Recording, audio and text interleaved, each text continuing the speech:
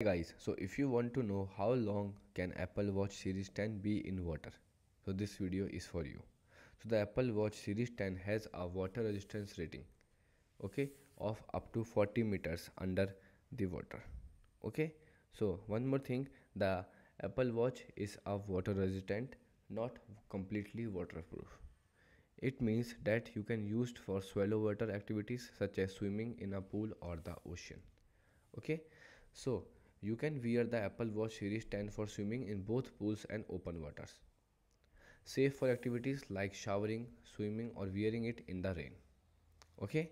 So, and also you can avoid activities like water skiing, jet skiing or diving into water where high speed water could penetrate to watch seals.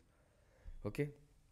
It is not suitable for scuba diving or other deep water activities. Here the depth exceeds from 40 meters and also the high temperatures like saunas and steam rooms could also be avoided as they can damage its seals for the watch.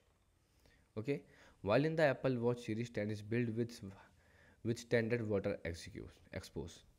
Apple does not specify a maximum duration. It can stay submerged in water. It is advised to limit prolonged exposures to ensure long-term durability.